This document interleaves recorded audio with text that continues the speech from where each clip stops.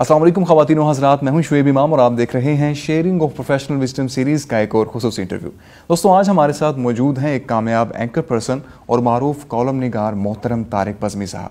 آپ نے Lahore T V میں کام کیا، آپ نے کوہنور ٹی وی میں کام کیا اور اب آپ ٹی وی ٹوڈے میں ایک اینکر پرسن کی حیثیت سے اپنے فرائض سر انجام دے رہے ہیں۔ مگر آج سے کچھ عرصہ پہلے چیزیں اتنی سموتھ اور گلوریفائڈ نہیں تھیں۔ ایک وقت ایسا بھی تھا جب آپ کا بزنس فیل ہوا اور آپ نے ایک ٹی بوائے کی حیثیت سے یا ایک آفس بوائے کی حیثیت سے کام کیا۔ اس کے ساتھ ساتھ آپ نے خود ہی کام کیا اور اپنے تعلیمی اخراجات کو بھی سنبھالا۔ چھوٹے موٹے کام کیے اور اپنے تعلیم کو جاری رکھا اور آج آپ اس مقام تک پہنچے۔ آئیے آپ کی ملاقات کرواتے ہیں محترم طارق پزمی صاحب سے۔ بہت بہت شکریہ سر آپ کی تشریف آوری کا۔ سر میں شروعات کرنا چاہوں گا آج سے کیونکہ آج آپ ایک کامیاب اینکر ہیں، ایک کالم نگار ہیں۔ آپ نئی بات میں آپ کا کالم آتا ہے اور صاف میں آپ کا کالم آتا ہے۔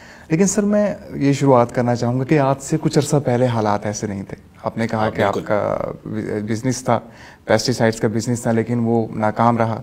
پھر اس کے بعد آپ نے ایک آفس بوائے کی حیثیت سے بھی کام کیا اور آپ نے کام بھی کیا اور اس کے ساتھ ساتھ اپنی پڑھائی کو بھی جاری رکھا۔ تو میں چاہ رہا تھا کہ آپ اپنی جرنی سر ہمارے ساتھ تھوڑی سی شیئر کر لیں۔ بالکل شعیب صاحب آپ نے بالکل ٹھیک بات کی۔ یہ بات ہے جب میٹرک میں تھا۔ اس وقت پیرنٹس کا بزنس تھا پیسٹی سائڈ کا۔ تو پیسٹی سائڈ میں ایک لاس ہوا، ایک کمپنی بھاگ گئی، وہ ایک بڑا میٹر ہے۔ اس کے بعد پھر مجھے جاب کرنی پڑی اور جاب کے ساتھ ساتھ میں کام بھی سیکھتا رہا۔ لیکن میں اسٹڈی ساتھ ساتھ کرتا رہا۔ جتنا مطلب مطالعہ میں نے کیا، وہ اسی دور میں کیا، اس کو میں نے کنزیوم کیا تھوڑا، جو ٹائم مجھے ملا۔ پھر میں نے ایک اسکول میں جاب کی اور مارننگ میں میں اسکول میں ہوتا تھا۔ پھر میں نے یونیورسٹی جوائن کی تو سیکنڈ ٹائم میں یونیورسٹی ہوتا تھا۔ دو بجے یونیورسٹی کلاسز ہوتی تھیں۔ I U B campus Bahawalnagar میں۔ اور صبح کے وقت میں ساڑھے سات بجے اسکول ہوتا تھا اور شام کو میں نے ایف ایم ریڈیو جوائن کیا اور ایف ایم ریڈیو سے میں دس سے بارہ ایک شو کرتا تھا غزل ٹائم تو رات کو ایک ڈیڑھ بجے میں فارغ ہو کے دو بجے گھر پہنچتا تھا اور پھر ساڑھے سات بجے میں اسکول ہوتا تھا۔ تو مطلب یہ کوئی دو سے اڑھائی سال کا عرصہ سیم روٹین میری رہی لیکن بہت مزہ آیا اس میں بھی۔ کیونکہ موٹیویشن مجھے ملتی رہی، میں ڈیل کارنیگی کو پڑھتا رہا۔ پھر اس وقت یہ تو نہیں تھا سوشل میڈیا قاسم علی شاہ صاحب تو نہیں تھے۔ لیکن اس کے بعد جب میں مایوس ہوتا ہوں آج بھی تو میں قاسم علی شاہ صاحب کے لیکچر ضرور سنتا ہوں۔ صحیح بالکل تو it's a big motivation for me and all of young people صحیح۔ اچھا آپ نے بتایا کہ آپ نے B S C S start کیا تھا۔ اور آپ کے دو سال بھی اس میں گزرے تھے لیکن آپ نے چھوڑ دیا تھا اس کے بعد آپ نے ماس کمیونیکیشن میں داخلہ لیا۔ اچھا یہ ہر جو بچے کا ہے یہ مسئلہ ہے کہ پیشن علیحدہ ہے پروفیشن علیحدہ ہے تو میں چاہ رہا تھا کہ آپ نے کس طرح اپنے پیشن کو آئیڈینٹیفائی کیا اور یہ فیصلہ لیا کہ نہیں مجھے اب ماس کمیونیکیشن میں آنا چاہیے اور مجھے اینکرنگ کی فیلڈ میں آنا چاہیے۔ تھوڑا سا پروسیس بتا دیں کہ جس میں آپ نے اپنی کوالٹیز کو ریئلائز بہت اچھا سوال ہے آپ کا۔ خصوصاً آج کل کے دور میں تو آپ کی موٹیویشن بھی ہے، آپ کے پاس گول بھی ہے اور آپ کے پاس ایسے ٹیچرز بھی ہیں جو آپ کا گول متعین کرنے میں آپ کی ہیلپ بھی کرتے ہیں۔ بہاول نگر کا ایک دور دراز علاقہ ڈونگا بونگا ہارون آباد کے رستے میں، وہاں پہ نہ تو کچھ ایسی تعلیمی سہولیات تھیں اور ابھی تک نہیں ہیں، جس کے لیے ہم اسٹرگل اجالا فاؤنڈیشن کے پلیٹ فارم سے کر رہے ہیں کہ وہاں پہ ایک ڈگری کالج کا قیام آئے گرلز اینڈ بوائز کے لیے۔ میں ہوں، میرے ساتھ منصور اختر غوری صاحب ہیں، اجالا فاؤنڈیشن ہے ہماری، وہ اس کام میں لگی ہوئی ہے۔ تاکہ جو پرابلمز ہمیں فیس کرنے پڑیں وہ انہیں نہ کرنے پڑیں۔ تو اس وقت استاد یہ ہوتا تھا کہ اس نے صرف لیکچر دینا ہے۔ لیکچر بھی کیا کہ بس بکس کھول کے انہوں نے پڑھا دینا ہے، لیکن بہت اچھے استاد بھی ہوتے تھے تو، لیکن گولز متعین نہیں کیے گئے۔ تو اس وقت میں نے بی ایس سی ایس کیا اس میں ایڈمیشن لیا۔ I U B campus Bahawalnagar نیا نیا آیا تھا۔ تو وہاں پہ ایڈمیشن لینے کے بعد دو سال بعد مجھے ریلائز ہوا، جب ایف ایم ریڈیو میں نے جوائن کیا کہ تاریخ تمہیں بننا کیا ہے۔ مطلب اتنی محنت کر کر کے آپ اگر اس کے بعد بھی چودہ گھنٹے آپ نے بیٹھ کے سافٹ ویئر انجینئرنگ کرنی ہے اور مجھے کمپیوٹر میں بالکل انٹرسٹ نہیں تھا۔ بالکل ہاں تو میں نے وہ کوئٹ کیا۔ دو سال بعد مجھے میرے استاد نے کہا اساتذہ نے کہا بہت ٹیچرز نے کہا کہ نہیں کرو بہت سکوپ ہے اس کا یہ وہ۔ میں نے کہا نہیں میں نے مطلب مشہور ہونا ہے اور کچھ کرنا ہے میں نے۔ مطلب ظاہر ہے کہ آپ کا ویژن ہوتا ہے آپ کا ایک گول ہوتا ہے۔ تو جب ایف ایم ریڈیو آیا تو مجھے پتہ چلا کہ میں بول بھی سکتا ہوں۔ اور مطلب اس طرح بند کمرے میں آپ گھنٹوں بات کر سکتے ہیں اور اس کے علاوہ پبلک ڈیلنگ آپ اچھی کر سکتے ہیں پی آر آپ اچھی بلٹ اپ کر سکتے ہیں۔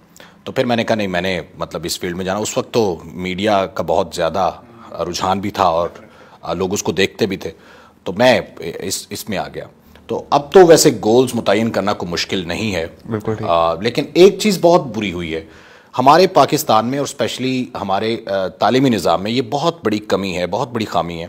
میں نے جو میس کام میں پڑھا فیلڈ میں وہ ویسا نہیں ہوا۔ اس کے بالکل اپوزٹ چیزیں۔ ہیں مطلب دیکھیں کہ ہم نے ایڈیٹنگ وہ پڑھی کہ جو اخبار کی ایڈیٹنگ ہے ہم ٹی وی کے لوگ تھے۔ ہم نے میں اینکر بننا چاہتا تھا مجھے کیمرے کی موومنٹ سکھائی گئیں۔ بتائی گئیں۔ ٹھیک ہے پتہ ہونا چاہیے انسان کو۔ اور اس کے علاوہ بھی بس کام وہ آیا کہ جو آپ نے نالج گین کیا جو آپ نے مطالعہ کیا۔ اور اس کے ساتھ ساتھ جو آپ نے پریکٹیکلی لوگوں کے ساتھ ڈیلنگ کی۔ صحیح صحیح۔ اس میں کوئی مطلب اسپیشلائزیشن نہیں تھی کوئی اسپیسیفک وہاں پہ نہیں ایک جنرل سنیریو ہے جو سب کو سکھا دیا جاتا ہے۔ اچھا طارق بھائی میں آنا چاہوں گا میڈیا پہ تھوڑی سی بات کرتے ہیں۔ طارق بھائی ہمارے ہاں ایک ماحول کچھ اس طرح کا بن چکا ہے میڈیا کا کہ کہیں بھی کوئی بحث ہوتی ہے تو اس کو ہوا دی جاتی ہے۔ اور اگر ہم اینکرز کی بات کریں تو انہیں ہم اوپینین میکر کہتے ہیں۔ سر کیا ایک اینکر کا کام نہیں ہے کہ وہ ایک غیر جانب دنانہ اوپینین لے کر آئے؟ اور جو اصلاح بنتی ہے قوم کی، اس کو پیش کرے۔ نہ کہ ریٹنگ کے چکر میں اس بحث کو مزید ہوا دے اور اس ماحول کو جو ہے مزید جو ہے وہ تناؤ کا شکار بنائے اسے۔ ہاں بالکل صحیح بات ہے۔ ہونا تو بہت کچھ چاہیے۔ میڈیا اصلاح تو نہیں کر رہا۔ جسٹ انفارم کر رہا ہے اور اس میں بھی بہت زیادہ کچھ غلط چیزیں بھی آ جاتی ہیں۔ بہت سی سٹوریز جو ہیں ان کی کوئی بیس نہیں ہوتی۔ لیکن یہ ایسا بھی نہیں ہے کہ میڈیا اصلاح نہیں کر رہا۔ بعض پروگرامز آپ نے بالکل ٹھیک بات کی۔ گزشتہ رات بھی ایک پروگرام میں نے دیکھا جس میں صرف ایک گیسٹ کو اس لیے بلایا گیا کہ اس کو بے عزت کیا جا سکے، کیونکہ اس نے گزشتہ پروگرام میں اچھی ریٹنگ لے لی تھی سوشل میڈیا پہ وائرل ہو گیا تھا۔ اس گیسٹ کو بلا کے اس کی تزلیل کی گئی۔ پوائنٹ آف ویو یہ ہوتا ہے اینکر کا کام یہ ہونا چاہیے کہ میں نے آپ کا پوائنٹ آف ویو لیا اور آپ کے ساتھ بحث نہ کروں میں۔ اور اس کے بعد میں نے دوسرا جو آپ کے سامنے والا بندہ ہے، جس کو آپ آپ کا اپوزٹ نقطہ نظر ہے، اس سے میں لے لوں۔ بس اینکر کا کام ماڈریٹ کرنا ہوتا ہے، نہ کہ اوپینین کو یا اپنی رائے کو تھوپنا۔ تو یہ چیز آپ بالکل ٹھیک کہہ رہے ہیں۔ اچھا جب حامد میر صاحب نے، کیونکہ وہ بانی ہے ٹاک شو کے آٹھ بجے کا، انہوں نے سٹارٹ کیا تھا۔ انہوں نے جب یہ ٹاک شو سٹارٹ کیا تو اس کا مقصد یہ نہیں تھا یہ لڑائی نہیں تھی، اس قسم کے جھگڑے نہیں تھے۔ پھر ہم نے دیکھا کہ بعد میں لوگوں نے ایک دوسرے پہ تھپڑ بھی برسائے۔ اصل مسئلہ شعیب بھائی یہ ہے کہ عدم برداشت بہت زیادہ ہے۔ اور اینکرز ریٹنگ کے چکر میں آتے اس لیے کیونکہ اینکرز کا سروائیول ہی ریٹنگ سے ہے۔ اگر پروگرام کی ریٹنگ نہیں آئے گی تو انفارمیٹو پروگرام تو آپ کے بند ہو چکے ہیں بڑے بڑے چینلز میں کوئی ایسا آپ کو پروگرام نہیں ملے گا۔ آپ انٹلیکچوئلس کو دیکھ لیں آپ ٹارگیٹڈ آڈینس سب سے پہلے میئر کی جاتی ہے کہ کتنی ہے اس پروگرام کی یا کس کو۔ آپ دیکھیں کہ پورے میڈیا میں بچوں کے لیے کوئی پروگرام نہیں چل رہا۔ ہم پروگرام دیکھتے تھے توسیق حیدر صاحب کا مستنصر حسین تارڑ صاحب کا۔ وہ ایک صبح ہوتی تھی آغاز اتنا اچھا ہوتا تھا کہ سات بج کے بیس منٹ پہ کارٹون آتے تھے مکی ماؤس کے اور اس قسم کے کارٹون آتے تھے۔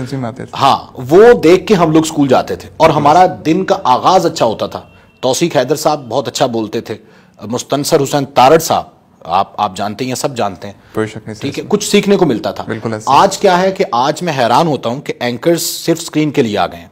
اور اسپیشلی جو ہماری فیمیل اینکرز ہیں اور کچھ نئے لوگ جو میل بھی ہیں وہ پڑھنے کی طرف ہے ہی نہیں وہ صرف یہ کہ اسکرین دیکھتے ہیں اور کنٹینٹ پہ کوئی توجہ نہیں ہے جس سے آپ کی زبان و بیان پہ بہت اثر پڑا ہے۔ کئی چیزیں غلط و نام ہیں آپ ڈیلی کوئی نہ کوئی بلنڈر اور دیکھ دیکھ لیتے ہیں فمبلز دیکھ لیتے ہیں۔ تو یہ چیز غلط ہے۔ ڈیفینیٹلی ہم جب بھی بات کرتے ہیں طارق بھائی تو ہم صرف اینکر کی بات کر رہے ہوتے ہیں۔ ابھی جب جیسا میرا سوال تھا وہ پرٹیکولرلی اینکرز کے لیے تھا۔ لیکن اگر ہم بات کریں تو کہیں اینکرز بھی سسٹم کے ہاتھوں مجبور تو نہیں ہیں۔ کہ وہ بھی ایک خاص چیز کو ہوا دینے کے پیچھے جو ہے ان کو مجبور تو نہیں کیا جا رہا۔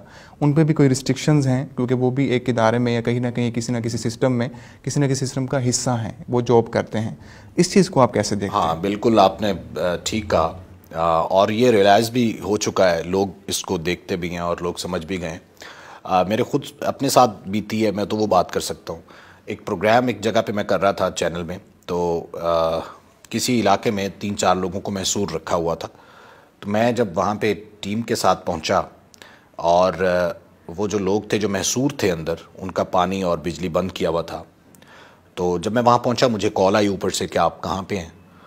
تو میں نے کہا، سر، میں پروگرام ریکارڈ کرنے آیا ہوں۔ تو کہتے، واپس آ جائیں۔ I said okay. مجبوری یہ ہوتی ہے کہ جب آپ آپ کو پروگرام کرتے ہیں، جو پلان بناتے ہیں جب اوپر سے آپ کو فون آ جاتا ہے تو کچھ مجبوریاں ظاہر ہے میڈیا مالکان کی بھی ہوتی ہیں اور کچھ مجبوریاں انسان کی اپنی بھی ہوتی ہیں اخلاقی روایت بھی ہے۔ تو یہ چیز ہے۔ لیکن میں چاہتا میں کہتا ہوں کہ آپ نے خود پہ اگر چیک اینڈ بیلنس رکھنا ہے تو پھر آپ خود پہ رکھیں تو آپ زیادہ ترقی بھی کر سکتے ہیں۔ اور آپ کچھ سوسائٹی کو دے بھی سکتے ہیں۔ مجبوری ہماری یہ ہے کہ ہم نے ریٹنگ والے شو دینے ہیں ریٹنگ والے اور اس میں بھی ہمیں باؤنڈ رہنا ہے۔ یہ بھی ایک خوبصورتی ہے ادارے کی ٹھیک ہے مطلب ان کی اپنی مجبوریاں ہوتی ہیں۔ تو آپ نے اسی ڈومین میں رہ کے کام کرنا ہے۔ بالکل وہ بہت مشکل ہوتا ہے اور بڑی چیلنجنگ صورتحال ہوتی ہے۔ اب دوسرے بندے کو دیکھ کے لگتا ہے کہ یار اینکرز کے لیے تو کوئی مشکل نہیں ہے۔ ٹھیک۔ حالانکہ بہت مشکلات ہیں۔ بالکل۔ اگر کوئی بندہ اچھا کام کر بھی رہا ہو تو وہ کسی اور کی دیکھا دیکھی یا اس پہ پریشر ڈالا جاتا ہے کہ فلانا اس طرح کرا ہے تو آپ نے بھی اس طرح کرنا ہے۔ یہ سنیریو بھی ہے۔ ہاں بعض اوقات ہوتا ہے کہ آپ اس کو دیکھ لیں۔ اور اچھا بعض اوقات ہمیں پتہ ہوتا ہے کہ یہ پلانڈ شو ہے۔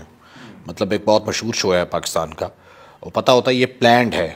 اور مجھے ایک جگہ پہ یہ کہا بھی گیا، ایف آئی اے کا سائبر کرائم کا میں شو کر رہا تھا، تو انہوں نے کہا کہ ڈائریکٹر صاحب نے کیوں نہ ہم اس کو ایسے کر لیں؟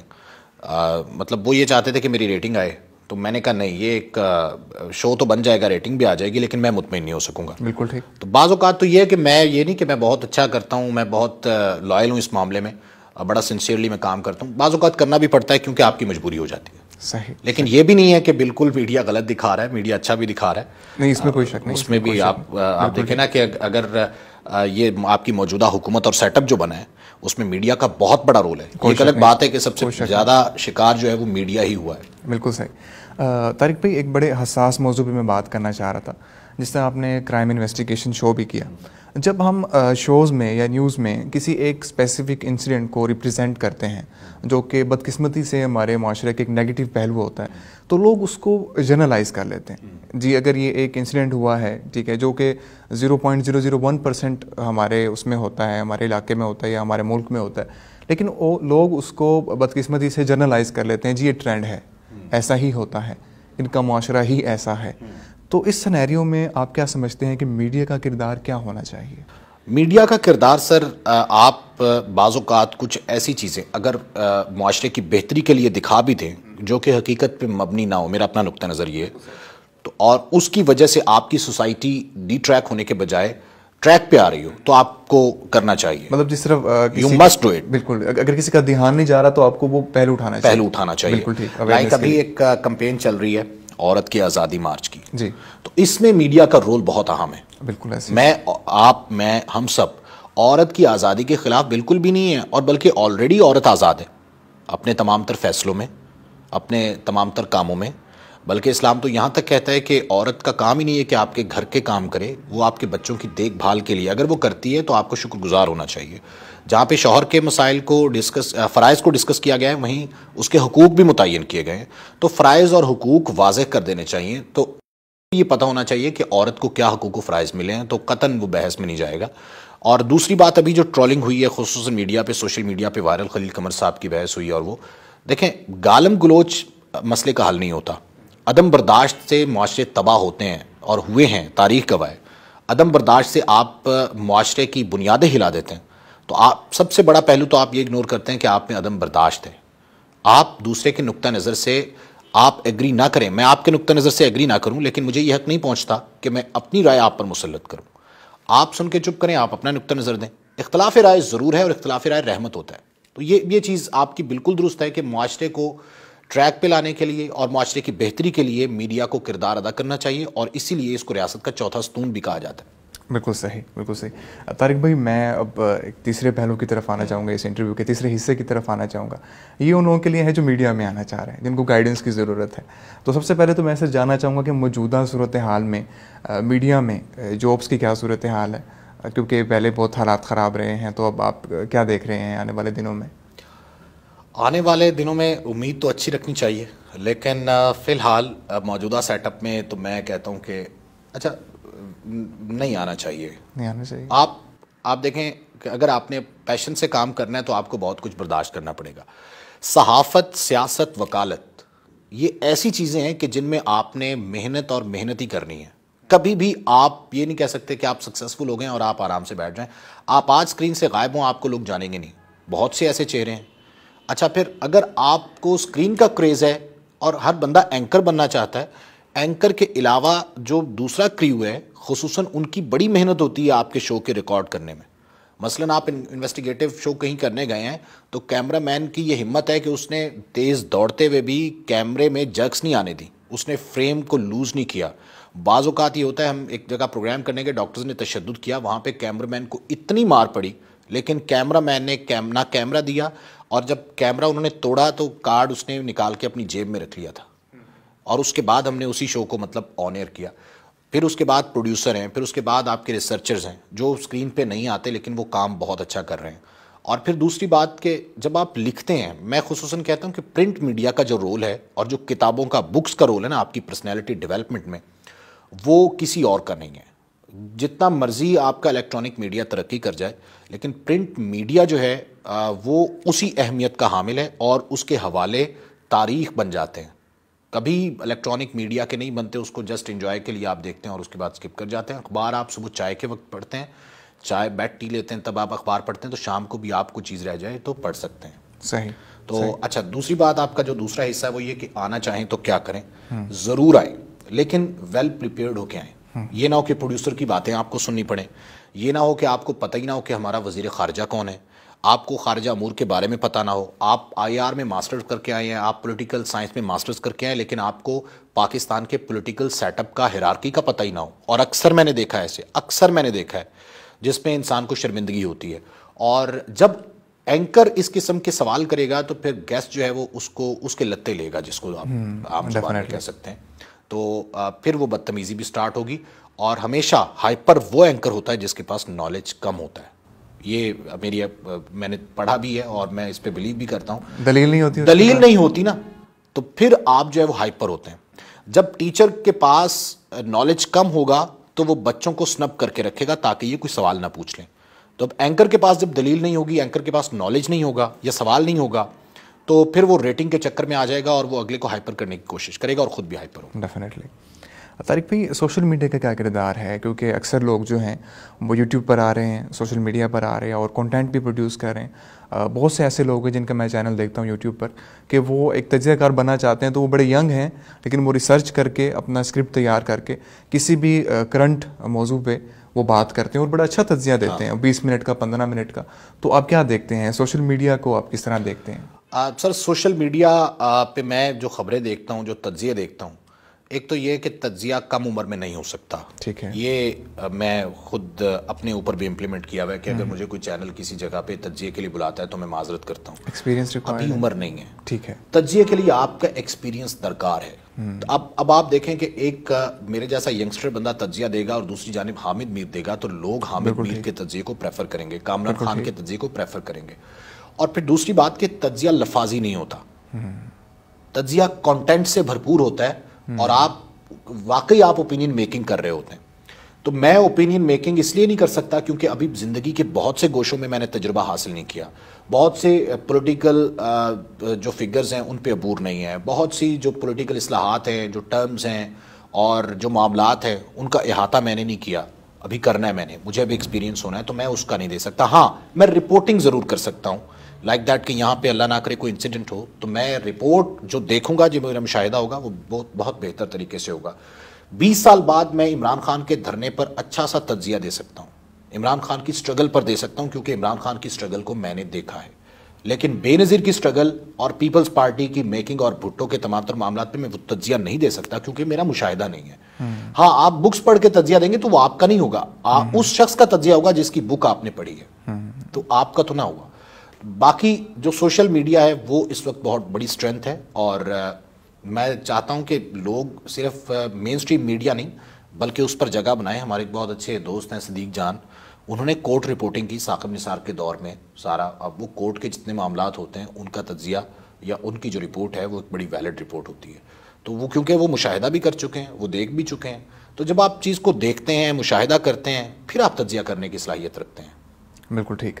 ایک آخری کوشچن ہوگا جی، میرا جی۔ آپ سے طارق بھائی۔ جس طرح آپ آئے ہماری فاؤنڈیشن میں آپ نے شاہ صاحب کے کام کی کافی تعریف کی۔ آپ کیا سمجھتے ہیں ایسے لوگوں کا ہمارے معاشرے میں ہونا کس حد تک ضروری ہے؟ سر میں قاسم علی شاہ صاحب کو میں جب سے جانتا ہوں میں نے تقریباً تین چار سال سے میں نے قاسم علی شاہ صاحب کو سننا شروع کیا۔ مجھے موٹیویشنل اسپیکر مطلب سب پسند نہیں ہے میں، کیونکہ میں نے جب موٹیویشنل سپیکرز کی لائن کو دیکھا، ان کے ان کے تجربات کو دیکھا، تو دیکھا ان کا تجربہ نہیں ہے۔ جیسے آپ نے تجزیہ کار کی بات کی، ہمیشہ موٹیویشنل سپیکر وہ ہو سکتا ہے موٹیویشنل پرسن وہ ہو سکتا ہے جس کی لائف موٹیویشن سے بھرپور ہو۔ ٹھیک؟ جو اپنی زندگی میں کامیاب ہو، کم از کم۔ اب میں دیکھتا ہوں سوشل میڈیا، جیسے آپ نے بات کی، سوشل میڈیا کی کئی نیگیٹیوٹیز یہ ہیں۔